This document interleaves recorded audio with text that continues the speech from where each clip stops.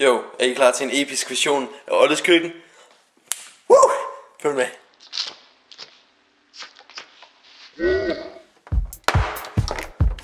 Vi skal lave toast i dag. Jeg har ikke lige øh, mit stativ med mig i dag, fordi det her det er meget impulsivt.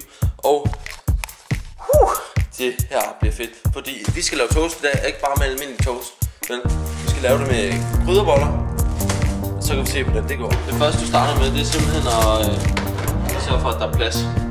Så nu laver mad, ikke? Så den her til. Selve toasteren. Ja, ikke? Fordi så kan den varme op, mens vi laver vores toast. Det er jo fucking lækkert.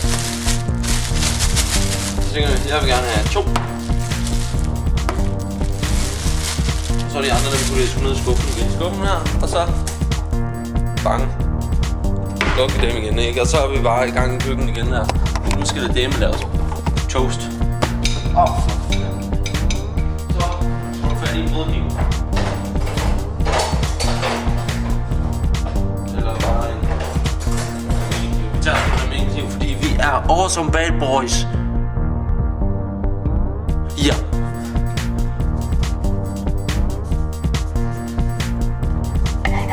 Bang. Den blev skåret rigtig fint over. Så har vi den.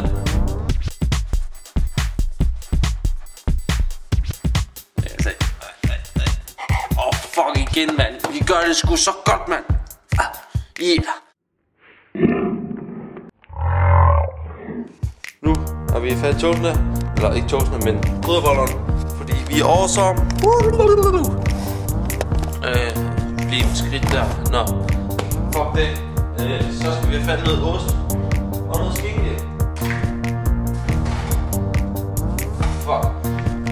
Der var osten der. Og.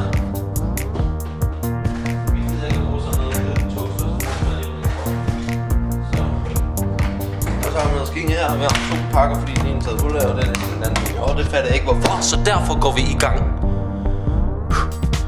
Øhm. Så har fat i noget smør Der. Se, så tager du en bolle der. Så tager du noget smør. Der. Smører den rigtig godt. Ikke? Jeg kan godt se. Der er lige meget, om der kommer et stort lag på. Så skal det spises. Så. Og det gør du bare ved alle sammen.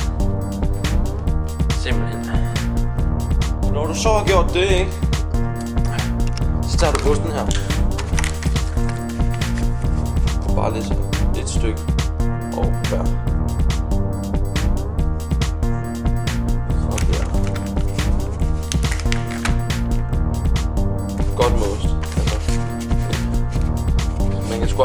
Lidt ost. Så bliver der. Sådan der. Jo. Ja. Ikke? Og så det der kommer nu, ikke? Og den er varme stadig, skal vi huske på. Så tager vi det her skinke, ikke? Så tager vi det i munden. Øh.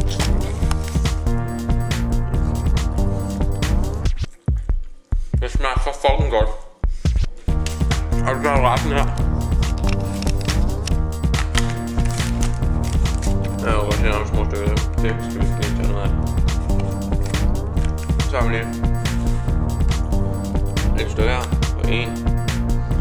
Og så et stykke mere. På en her. Og så klapper du dem simpelthen sammen, ikke? Så tænker du, åh, det er en top, åh, det er en bund. Bang, de første godt. Ah, det er en top, det er en bund, ah, det er en bund. Slam. Hey, så har du din toaster. Og nu skal vi så til at putte dem i toasteren. Det er jo godt, den er dejlig varm, den her. Bang. Bang. Hola. Skal lige bruge to hænder her.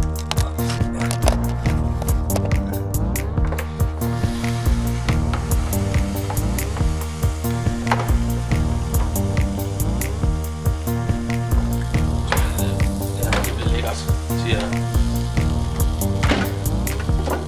Og de skal ikke ret meget, fordi det netop er en krydderboller, vi bruger, så det er fucking fedt. Men imens det vi står der, så kan vi lige gå rent, fordi du kan godt se, at jeg lige kommer her, ikke? Det er altså ikke nogen, vi kan leve med for altid. Så, færdig til lærken, kan man sige. Så tager vi lige hurtigt gluden her. Lige hen i vasken der. Lige. Så, så, så er det i hvert fald væk, ikke? Og, og så er lige snart færdig dem her, så vi tager lidt til lange her. Ikke? Ulla. Det er fucking lækkert det der, ikke? Det, jeg tror allerede, vi er færdige, mand. Skal vi ikke lige det? Det gør vi. Det, så har vi vores kniv her, vi bruger brugt til at smøre med. Den tager vi lige her, fordi de er jo fucking varme. Jeg vil til alt det ost der, mand. Det tager vi jo med, fordi man kan ikke få for noget ost. Så Så er vi lige lidt der, om der var lidt der. Ja. Og så ser de så ud. Så tager vi lige øh, den her fra. Uh.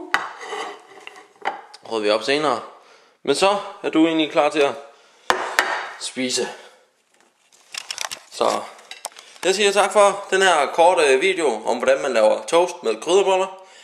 Vi ses nok en anden gang. Det tror jeg nok vi gør. Okay, så gør vi det. Okay, jamen hyg dig. Ha' det godt derude. falling in love with.